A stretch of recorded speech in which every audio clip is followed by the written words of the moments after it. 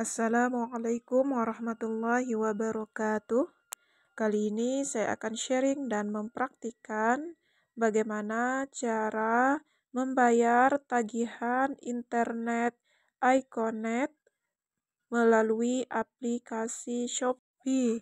Pastikan sebelumnya kita telah menerima email tagihan untuk pembayaran uh, bulanan dari iConnect ini.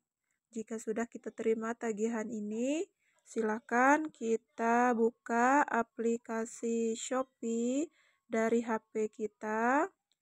Kemudian kita klik menu transfer. Setelah kita klik, pada bagian berikutnya akan muncul seperti ini ya, kita klik transfer ke bank garis miring virtual account. Lalu klik tambah rekening bank baru. Selanjutnya nama bank, kita pilih bank di sini. Kita klik yang Bank Mandiri dalam kurung virtual account. Lalu masukkan nomor rekening atau virtual account. Ini kita dapatkan dari tagihan tadi ya. Bisa langsung kita salin dan kita paste atau tempel di bagian ini. Jika sudah, jangan lupa klik lanjutkan di bagian paling bawah. Kita bisa cek ini iConnect 10 Mbps. Kemudian jumlah transfernya kita bisa isi nominal sesuai dengan jumlah tagihan kita. Biaya admin perhatikan di sini gratis. Tujuan transaksi bisa kita pilih untuk pembayaran. Kita klik.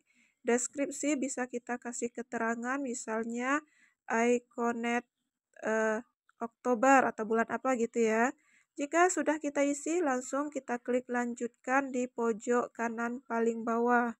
Maka selanjutnya akan muncul konfirmasi transaksi. Kita bisa cek kembali apakah sudah benar.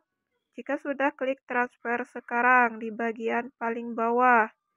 Lalu jika diminta memasukkan sidik jari ataupun uh, uh, PIN kita silakan dan selanjutnya ini sudah berhasil. Itulah tadi cara bayar tagihan iConnect melalui aplikasi Shopee. Semoga video ini bermanfaat. Terima kasih. Wassalamualaikum warahmatullahi wabarakatuh.